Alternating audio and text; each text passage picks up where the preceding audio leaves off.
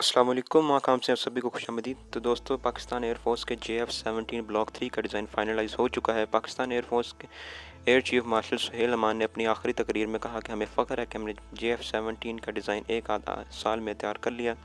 J F seventeen block three, J F seventeen کی ایک major development ہے۔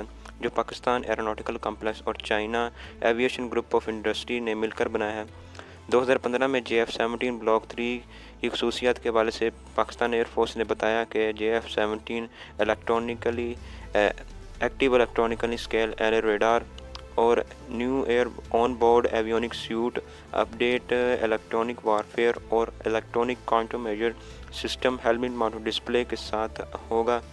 Year chief martial نے سہیل مان نے کہا کہ J F seventeen block three Pakistan کے فور پوائنٹ فائیو جنریشن کی خصوصیات کے مطابق پورا اترے گا۔ J F seventeen block three کا پروگرام دو ہزار پندرہ کو شروع ہوا۔ دو ہزار سترہ میں اس کے ڈیزائن، دو ہزار سترہ سے لے کر دو ہزار اٹھارہ میں اس پاکستان نے J F seventeen block three کا ڈیزائن مکمل کیا۔